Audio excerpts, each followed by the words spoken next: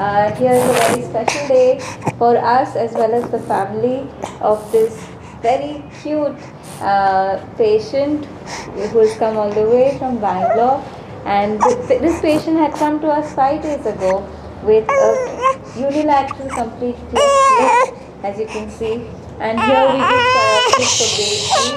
Uh, we don't want them to wait and you know we don't want them to be crying like this.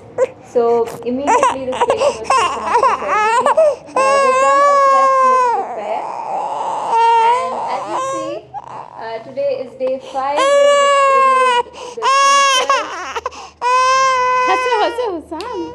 Smiley, smiley. The baby wants to look out of the window. It's a bit, he's a bit cranky that we brought him here.